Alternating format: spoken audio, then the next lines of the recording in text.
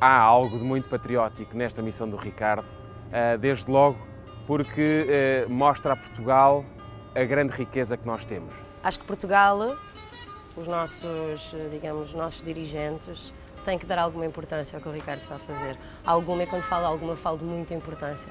Com a viagem dele e desenhando a linha da Zona Económica Exclusiva Portuguesa, estamos a mostrar a grandiosidade de Portugal.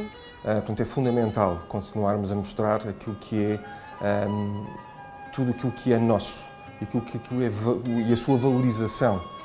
É preciso é que com estas viagens e outras possamos ter consciência dessa valorização e começar desde as nossas crianças, nossos filhos, nas escolas, a valorizar aquilo que efetivamente é o mar. A componente patriótica esteja ligada precisamente à presença do mar na nossa história e, e ao facto do mar fazer parte do, da nossa memória coletiva enquanto povo. Eh, enquanto Ministra do Mar, de facto, há um grande patriotismo em mostrar como o nosso território marítimo é bem maior do que o terrestre e, de hoje para amanhã, teremos com certeza muito melhores condições para o explorar de uma forma sustentável. Sim, o Ricardo tem de facto uma componente, uma grande componente patriótica ao criar este projeto da, da expedição Montepio Mar Nostrum.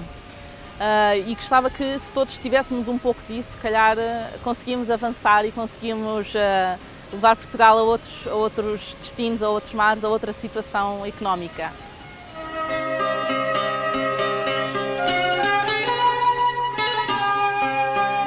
Existe algo de patriótico e existe algo de corajoso, porque só quem anda no mar é que sabe o que o mar é e a força da natureza e da adversidade que ele, que ele representa. Há muito pouca gente a fazer alguma coisa, há muita gente a ir embora do país uh, e o Ricardo o que está a fazer é sem dúvida representar bem o país, é mostrar para além fronteiras o que é que se passa aqui. Estamos a mostrar eh, que o nosso peso nas relações transatlânticas, tendo em consideração a nossa zona económica exclusiva eh, e, portanto, o mar que nos pertence, tendo em conta isso, a nossa dimensão nas relações transatlânticas é muito maior do que aquela que nós eh, habitualmente pensamos e já agora, como Ministra da Agricultura, sei que levou para bordo produtos portugueses, produtos nacionais, para se alimentar durante estes longos dias e isso também é um motivo de orgulho, eh, porque em tudo aqui nós vemos a expressão de uma preocupação patriótica e de uma preocupação eh, de um território sustentável e grande que é o nosso. E é uma missão patriótica porque é algo que pode dar várias soluções a Portugal, várias soluções de crescimento, eh, numa economia que Uh, muitos pensam pode estagnar, mas que há quem acredite que não vai estagnar e vai seguir em frente. E o mar é a solução.